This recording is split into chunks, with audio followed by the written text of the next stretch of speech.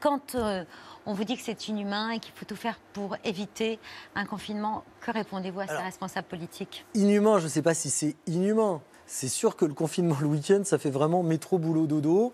Et moi, je suis humain aussi, je suis médecin, mais après, on me demande mon avis comme professionnel. De santé, oui. De santé. Donc, comme professionnel de santé, actuellement, il n'y a pas de traitement pour euh, le Covid. Les, tout, personne n'est vacciné. Enfin, pas suffisamment de personnes. Il y a 3 millions de, doses, je crois, qui ont été injectées. Il y a 1,5 million et demi de personnes qui ont été vaccinées.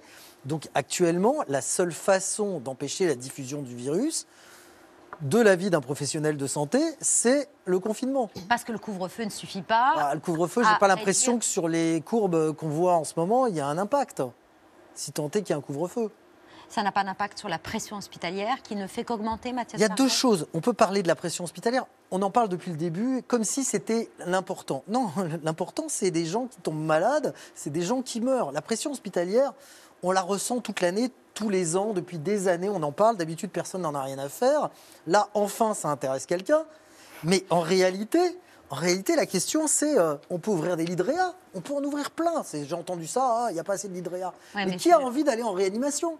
Qui a envie de se faire intuber? Actuellement, dans la réanimation à Saint-Denis, quasiment tous les patients sont intubés. On a parlé de flot qui était euh, cette façon de respirer, enfin de, ventiler, d'oxygène. Mais ça ne marche pas toujours. Donc là, on n'a que des patients ventilés. Enfin, intubés. Qui a envie de se faire intuber? C'est ça la question. Qui a envie d'être malade, qui a envie euh, de moins bien respirer après, qui a envie d'une anosmie, d'une agueusie. Personne. Enfin, il y a un moment, il faut arrêter, quoi. C'est pas la pression hospitalière.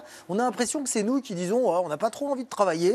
Alors du coup, ça serait bien. Euh, non, c'est pas ça. En gros, on fait le choix de laisser mourir un certain nombre de personnes tous les jours. Ben, ça peut être. Alors, les gens, ils meurent tous les jours. Hein. Pareil, encore une fois, euh, en dehors, en, en dehors des périodes d'épidémie, les gens meurent. Mais là, il y a énormément de monde qui meurt. Il y a énormément de monde. Alors on dit, ah, les statistiques, c'est les personnes âgées. Euh, les personnes âgées, c'est vos parents, euh, c'est vos grands-parents, euh, c'est papy-mamie, c'est papy-mamie, les personnes mm. âgées. Et puis, il n'y a pas que des personnes âgées. Nous, on a des sujets jeunes. On voit quand même qu'il y a un rajeunissement de la population en réanimation. Et ce n'est pas une histoire de tri. Hein. De toute façon, les vieux, ils sont vaccinés. C'est que ça touche des sujets jeunes aussi.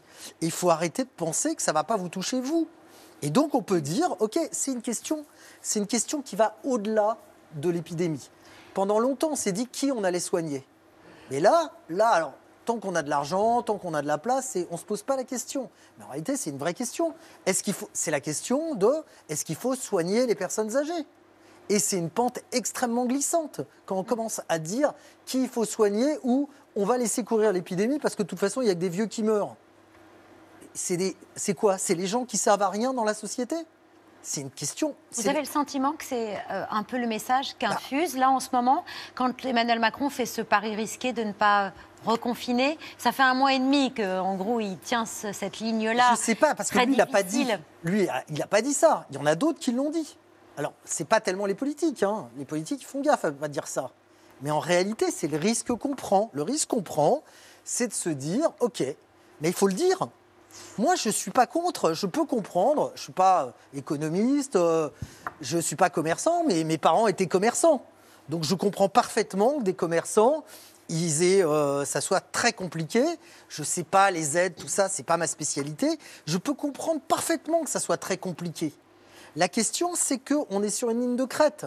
Donc, il faut assumer la responsabilité de dire, OK, on va ouvrir les cinoches, on va ouvrir les théâtres, on va ouvrir les restos, assumons-le mais ça va coûter tant de vies.